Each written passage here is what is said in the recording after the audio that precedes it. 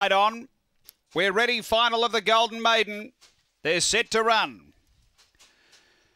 Away. Speed off the inside. Queen Mears going quickly. Victor Mikey as they go to the first bend. And Victor Mikey got over and got clear. Got away by three to the back over Victor Buzz. And a length and a half away Shantui's Ember. Uh, three away Queen Mears. Then Barbados Express. A big gap Dunkill. Then Ninkazi and Stevie Dawn. But down the back. Victor Mikey out by four. Victor Buzz doing the chasing. Two back then Shantui's Ember. But up to the turn. It's Victor Mikey straightening clear of Victor Buzz and Shantui's Ember. And Victor Mikey takes takes the Golden Maiden. Second, Queen Mears through late. Then Shantui's Ember. Uh, Barbados Express was next. Victor Buzz tired a bit. Then Dunkill. And they were followed by Ninkazi and Stevie Dawn back at the tail. The time here is around 31 seconds.